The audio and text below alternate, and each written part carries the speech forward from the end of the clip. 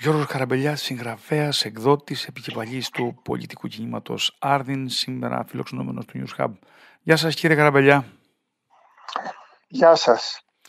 Κύριε Καραμπελιά, στα πλαίσια ενός κύκλου εκπομπών που κάνουμε εδώ στο News Hub για την μικρασιατική καταστροφή, θα θέλαμε την άποψή σας, μια και στο βιβλίο το τελευταίο που γράψατε για τη μικρασιατική καταστροφή, το τελευταίο ιστορικό, με τίτλο «Επανάσταση και αντεπανάσταση», έχετε πάρα πολλά ιστορικά στοιχεία και δίνεται και μια άλλη οπτική. Θα θέλαμε και την δική σας άποψη. Θα ήθελα όμως να μας ξεναγήσετε έτσι σε αυτούς τους ιστορικούς διαδρόμους εκείνης της περίοδου με ένα διαφορετικό τρόπο. Θα ήθελα να ξεκινήσουμε με τα πρόσωπα και τους βασικούς πρωταγωνιστές. Θέλω λοιπόν ε, να μου πείτε τι, ε, ενώ έχετε διαβάσει τόσα πολλά, έχετε γράψει τόσα πολλά για αυτή τη χρονική περίοδο, θέλω να μου πείτε τι έρχεται στο μυαλό σας όταν ακούτε την, το όνομα, ας πούμε, Ιωάννης Μεταξάς. Κοιτάξτε, ο Μεταξάς ε, υπήρξε ένας άνθρωπος σχετικά ικανός από ό,τι θρυλείται επιτελικός. Ήταν αξιωματικός, ε, είχε μετεκπαιδευτεί, είχε σπουδάσει στη Γερμανία, στη σχολή πολέμου του Κάιζερ, όπου τον είχε στείλει ο διάδοχος τότε Κωνσταντίνος. Και υπήρξε κατά τη γνώμη μου ο μοιραίος άνθρωπος ε, στα χρόνια 1912-13 ε, μέχρι το 1920, 1917 που έχει μεγάλη δράση. Ε, μοιραίος διότι ήταν εκείνος που εμπόδισε ουσιαστικά την ε, συμμετοχή της Ελλάδας στον ε, πρώτο πόλεμο όταν το 1914-1915 οι Άγγλοι ε, επειδή χρειάζονταν την Ελλάδα προσέφεραν τη Μικρά Ασία ή τουλάχιστον ένα τμήμα της, την Ανατολική Θράκη και την Κύπρο στην Ελλάδα για να συμμετάσχει στον ε, πόλεμο στην εκστρατεία της Καλύπολης. Αυτό έγινε, ξεκινάει από τα τέλη του 2014 και ολοκληρώνεται μέχρι, το, μέχρι τον Φεβρουάριο του 1915. Εκείνη την περίοδο ο Μεταξάς ήταν ε, αρχηγός του επιτελείου όπου τον είχε διαιρήσει ο Βενιζέλος παρά τις διαφορές που είχαν, τις οποίες γνώριζε.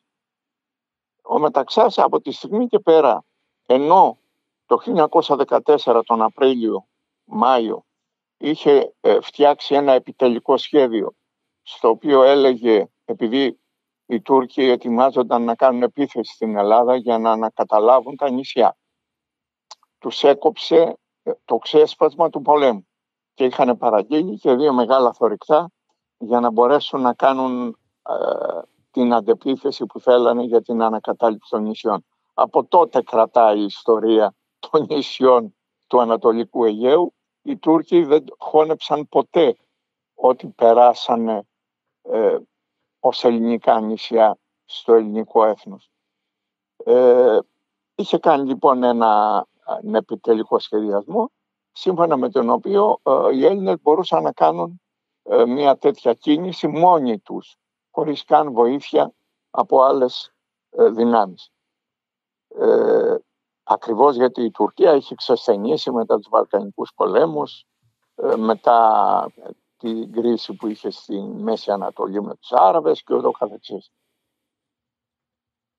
Όταν όμως η Γερμανία μπήκε στον πόλεμο, ο Μεταξάς, ο οποίος ήταν βαθύτατα γερμανόφιλος, αν διαβάσει κανένας τις, ε, τα απομνημονεύματά του, θα δει να εξυμνεί σε βαθμό κακουργήματος κυριολεκτικά τη Γερμανία και τον Γάζα, αλλάζει στάση και όντας στενά δεμένος και με την γερμανική πρεσβεία, ε, πλέον αρνείται την ανάγκη παρά τα όσα οι Άγγλοι προσέφεραν στην Ελλάδα να συμμετάσχει η Ελλάδα στον πόλεμο παρότι οι δύο αντίπαλοι της Ελλάδας, έτσι, η Τουρκία και η Βουλγαρία, βρίσκονταν ή θα βρισκόντουσαν στο απέναντι στρατόπεδο με τη Βουλγαρία δεν είχε ακόμα ολοκληρωθεί. Ε, ήταν εκείνος που ενώ προς στιγμή ο Κωνσταντίνος εξίσου γερμανόφιλος είχε όμως πιστεί από το Βενιζέλο ότι δεν μπορούσε να σταθεί ουσιαστικά σαν βασιλιάς εάν αρνούνταν ένα τέτοιο ε, δώρο που προσφερόταν στην Ελλάδα. Ε, εκείνος που το εμπόδισε και ανέτρεψε τη διαδικασία και έκανε τον Κωνσταντίνο ενώ είχε δεχτεί στις 17 Φεβρουαρίου μέχρι τις 22-23 να αρνηθεί υπήρξε ο Ιωάννης Μεταξάς ο οποίος είπε ότι παρετείται και ε, δημιουργούσε, έγραφε ήδη στις εφημερίδες και δημιουργούσε πολιτική κρίση. Ο, ο Βενιζέλος ε, θέλησε τότε να περιμένει μερικές μέρες και τα αποτελέσματα ήταν η ανατροπή του σχεδίου. Στο βιβλίο σας έχετε ε, κάποια σημεία από τα απομνημονεύματά του και αυτό που περιγράφεται ε, στο βιβλίο ναι. σας τουλάχιστον που το αναπτύσσετε είναι λίγο πιο ολοκληρωμένο. Δηλαδή έχει ξεκινήσει από πολύ πιο πίσω και όταν είχε σταλεί ως απεσταλμένος του Βενιζέλου για να διαπραγματευτεί μετά το πέρας των Βαλκανικών πολέμων πάλι είχε... Ε, Ήταν ενάντιος και στην, ε, ε, στον πρώτο Βαλκανικό πόλεμο. Έλεγε ότι δεν, ε, δεν είναι θετικό, δεν θα έχει καλά αποτελέσματα για την Ελλάδα, αλλά αυτό ήταν, είναι δευτερεύον σε σχέση με, την, με το μεγάλο ζήτημα αμέσως μετά δε έπαιξε αποφασιστικό ρόλο στο διχασμό ήταν πρωτοστάτης του διχασμού σε στενή σχέση με την ε, γερμανική πρεσβεία και όπως λέει ο στρατιωτικός ακόλουθος της ε, Γερμανίας τότε ε, σχεδίαζαν μαζί το 16 ακόμα και δολοφονία του Βενιζέλου. Αλλά δεν πρόλαβαν γιατί ο Βενιζέλος έφυγε για τη Θεσσαλονίκη. Σημασία έχει ότι ο ίδιος ο Μεταξάς λίγο πριν πεθάνει, νομίζω 23 μέρες πριν πεθάνει, γράφει στο ημερολόγιο του σε μία από τις τελευταίες του έτσι, καταγραφές πως ε, τότε ε, έκανα μεγάλο λάθος, εγκληματίσαμε, ε, να με συγχωρέσει ο Θεός για αυτό που έγινε το 1915. Δηλαδή ο ίδιος αναγνωρίζει σε μια φάση όπου είχε παίξει θετικό ρόλο έτσι απέναντι στην Ιταλική. Το 40. ναι. Αναγνωρίζει αυτό το γεγονός. Δεν είναι δηλαδή κάτι το οποίο του προσάπτουν απλώς ε, οι εχθροί του. Τώρα πάμε στο μεγάλο πρωταγωνιστή της περίοδου, τον Ελευθέριο Βενιζέλο. Ε, είναι πολλοί αυτοί που λένε ότι ακόμα και στον, ε, στους Βαλκανικούς πολέμους αλλά και στον ε, ε, Πρώτο Παγκόσμιο Πόλεμο για την περίοδο που αναφέρεστε είχε διαλέξει το ακριβές χρονικό σημείο για να πάρει αυτό που έπρεπε με τις λιγότερες απώλειες. Στους Βαλκανικούς πολέμους τουλάχιστον το είδαμε με τις προσαρτήσεις που έκανε. Συμφωνείτε σε αυτό; Ναι, κοιτάξτε, ο Βενιζέλος ε, είδε ήδη από την εποχή που ήταν ε, πρωθυπουργό τα τελευταία χρόνια που ήταν στην Κρήτη, δηλαδή δεν πρέπει να ξεχνάμε ότι ο Βενιζέλος είναι ο ηγέτης της Κρητικής Επαναστάσεως ε, και ε, θα οδηγήσει και στην Ένωση της Κρήτης με την Ελλάδα, προτού έρθει εδώ στην ε, Αθήνα και, ε, και αναλάβει τη διακυβέρνηση. Ο Βενιζέλος λοιπόν ε, είχε δει από την Κρήτη ήδη ότι η Μεγάλη Βρετανία, η οποία μέχρι τότε και η Γαλλία εν συνεχεία, ήταν η μεγάλη αντίπαλη της προσπάθειας των Ελλήνων για απελευθέρωση σε όλο το 19ο αιώνα, διότι θεωρούσαν ε, και αυτό το είχε πληρώσει η Κρήτη πολύ ακριβά στις κριτικές επαναστάσεις, ε, επειδή θεωρούσαν ότι ε, η Τουρκία είναι αναγκαία να υπάρχει, η Οθωμανική Αυτοκρατορία, ως αντίβαρο προς την Ρωσία. εκείνη λοιπόν την περίοδο, από το 1910 περίπου, φτιάνεται η συμμαχία Αγγλίας, Γαλλίας και Ρωσίας για πρώτη φορά, βρίσκονται μαζί, η Αντάντ, ε, απέναντι στη Γερμανία και η Τουρκία ως αναθεωρητική δύναμη διότι ήθελε να ανακτήσει αυτά που είχε χάσει στους Βαλκανικούς πολέμους στρέφεται ε, σταδιακώς προς τη Γερμανία όπου και προσχωρεί τελικώς και συμμετέχει στον Πρώτο Παγκόσμιο Πόλεμο μαζί με τη Γερμανία. Ο Βενιζέλος λοιπόν είδε τη μεγάλη ιστορική ευκαιρία που ανοιγόταν ε, δεδομένου ότι οι δυτικές δυνάμεις τότε ε, άφηναν τη δυνατότητα στους Έλληνες να προχωρήσουν και θα τους ενίσχυαν κιόλας να προσχωρήσουν ε, σε αυτό που ήθελαν αυτοί που ήταν η διάλυση της Οθωμανικής Αυτοκρατορίας.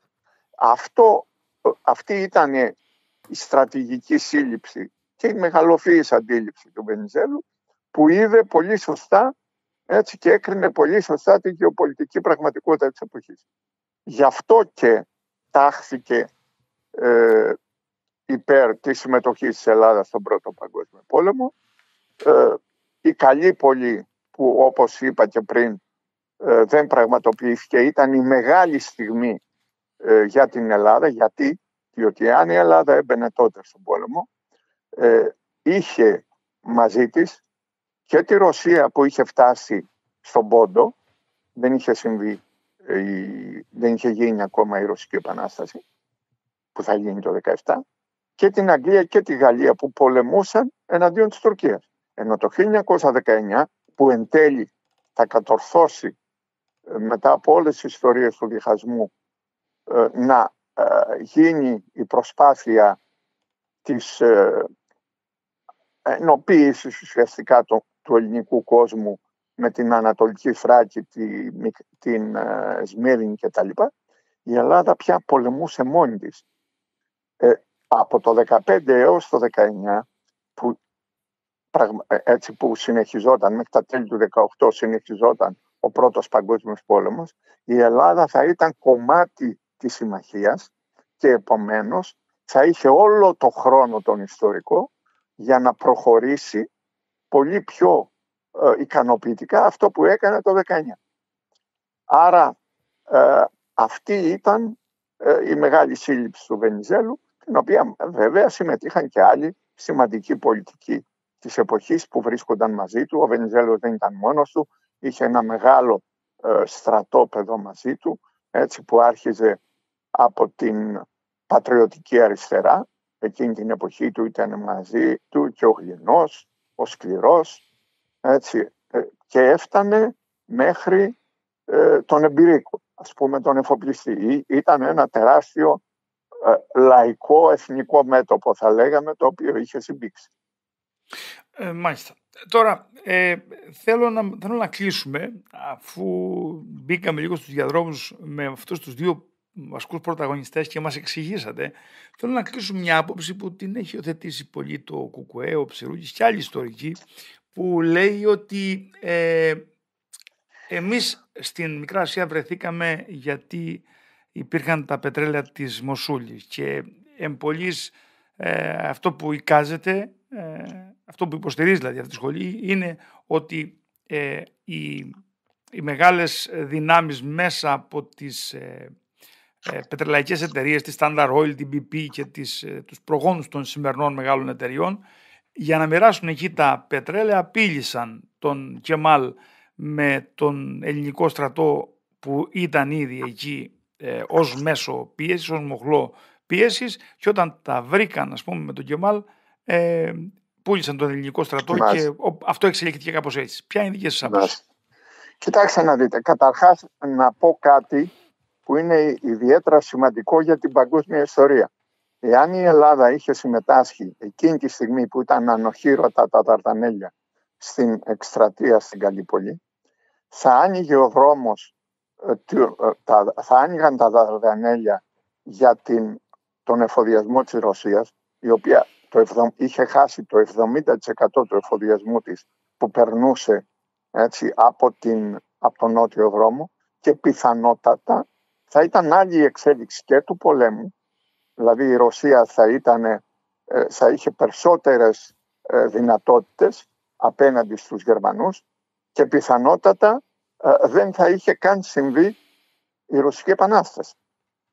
Θέλω να πω ότι ένα γεγονός που φαίνεται να αφορά μόνο εμάς σε ένα μικρό χώρο είχε τεράστια ιστορική σημασία για την ε, έκβαση του πολέμου. Ε, διότι τα Δαρδανέλια δεν άνοιξαν, ε, έγινε μερικούς μήνες μετά η προσπάθεια των Εγγλέζων που την κάνουν μόνοι τους, χωρίς ε, δυνάμεις ελληνικές και όταν ήδη οι Γερμανοί έχουν εξοπλίσει τα Δαρδανέλια, ε, είναι δύο ε, μήνες μετά την πρώτη περίοδο που ήταν εντελώς ανοχήρωτη. Έρχομαι λοιπόν στο θέμα που με ρωτήσατε. Καταρχάς, οπωσδήποτε οι μεγάλες δυνάμεις είχαν δικά τους συμφέροντα ε, και στρέφονταν αντίον της ε, Οθωμανικής Αυτοκρατορίας. Και η Ρωσία ήθελε να πάρει ε, μεγάλα εδάφη, έτσι, ειδικά ε, πίσω προς την Αρμενία σε όλες αυτές τις περιοχές. Και οι Εγγλέζοι και οι Γάλλοι ήθελαν ε, να βάλουν πόδι στον αραβικό κόσμο και βεβαίως εποφθαλμιούσαν και το πετρέλαιο.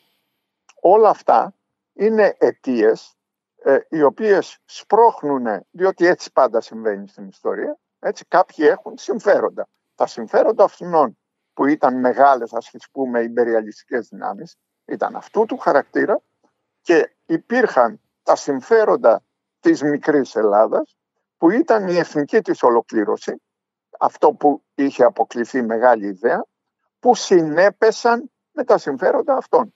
Το μεγάλο ε, σφάλμα το οποίο διαπράττουν όλοι αυτοί, εξάλλου το ΚΚΕ ε, είχε ταχθεί, όχι μόνο είχε ταχθεί ενάντια στη Μικρασιατική εκστρατεία, αλλά έκανε ό,τι μπορούσε για να τη σαμποτάρει, όπως λέει ο Ζαχαριάδης το 1933, αν θυμάμαι καλά, κάναμε ό,τι μπορούσαμε για να χάσει η Ελλάδα. Το αναγνωρίζει σε άρθρο του Στόριδος Πάση. Ε, άρα όλη τους η λογική είναι να βγάζουν από τη μέση τα ελληνικά συμφέροντα και να προτάσουν τα συμφέροντα της Αγγλίας, των εταιριών κτλ. Υπαρκτά, βεβαίως. Γι' αυτό έτσι ε, συντάχθηκαν με την Ελλάδα. Η Ελλάδα όμως μέσα σε αυτή τη συγκυρία έβρισκε τη δυνατότητα της ολοκλήρωσης έτσι, ε, των εθνικών πόθων των Ελλήνων. Και είναι σαν να πούμε σήμερα ότι Ούρδοι επί παραδείγματι δεν πρέπει να συμμαχούν με τους ε, Αμερικανούς ή με το Ισραήλ, σε ένα βαθμό με το Ισραήλ, γιατί δεν κάνει και πολλά πράγματα, ε, που είναι οι μόνοι που τους βοηθάνε απέναντι στην Τουρκία και σε όλες τις δυνάμεις εκεί έτσι, που θέλουν ε, να τους εξαφανίσουν, δεν θα έπρεπε να το κάνουν διότι η Αμερική είναι υπεριαλιστική. Ε, αυτά, αυτού του τύπου η ιστοριογραφία, η οποία έχει δύο πηγές. Από τη μία πλευρά την ε, αυτή που είπατε την ε, κομμουνιστική πλευρά. Ε, εξάλλου ο Ψηρούκης στη συνέχεια ε, λίγο πριν έτσι στον πρόλογο του, του βιβλίου του για τη μικρασιατική εκστρατεία λέει ότι είχε λάθος. Το αναιρεί αυτή την τοποθέτηση, αλλά οι άλλοι συνεχίζουν να μιλάνε παίρνοντα υπόψη τους αυτά που είπε ο ίδιος ο συγγραφέας. Αλλά αυτό είναι από τη μία πλευρά, την αριστερά, και από την άλλη πλευρά η βασιλική πλευρά που χαντάκωσε τον ελληνισμό και τον οδήγησε στο 22, στην καταστροφή, ε, για να ε, επιμείνει ότι ήταν λάθος ε, όλη η ιστορία της απόπειρας απελευθέρωσης των ελληνικών εδαφών στη Μικρά Ασία και την Ανατολική Θράκη. Αυτές, δεν είναι τυχαίο ότι αυτές οι δύο αντιλήψεις συμπλέουν επί του θέματος απέναντι στη συντριπτική πλειοψηφία έτσι, του ελληνικού λαού που άλλες απόψεις Αυτή είναι, αυτό είναι το ζήτημα, δηλαδή ότι μεταβάλλει στον εξωτερικό παράγοντα στην κύρια πλευρά απορρίπτοντας τον εσωτερικό παράγοντα, δηλαδή ε, τα 4 εκατομμύρια Ελλήνων, 2,5 ε, πια, ε, Τέσσερα όταν ξεκίνησαν οι Βαλκανικοί αγώ, έτσι, πόλεμοι, 4,5 εκατομμύρια ήταν κάτω από Οθωμανική κυριαρχία, 2,5 με 3 έτσι, ε, από το 1915 και μετά. Και τις 700.000 εκτοπισμένων από το 14 μέχρι το 18. Οι διώξεις των Τούρκων δεν ξεκίνησαν μετά έτσι, με τους ε, διωγμούς, με την καταστροφή. Έχουν ήδη ξεκινήσει και σπρώχνουν την Ελλάδα να πάρει ε, θέση και να προστατεύσει τους ελληνικούς πληθυσμούς της Μικράς Ασίας και της Ανατολικής Θράκης. Ε, αυτό δεν λέγεται ιστορία, κατά τη γνώμη μου λέγεται παραχάρη, παραχάραξη ιστορική. Μάλιστα. Ε, κύριε Καραμπελιά, ήθελα να σας ευχαριστήσω για αυτό το ιστορικό αποτύπωμα που μας δώσατε για αυτή την περίοδο και να ανανεώσουμε το ραντεβού μας. Σας ευχαριστώ πολύ. Γεια σας. Και εγώ. Να είστε καλά.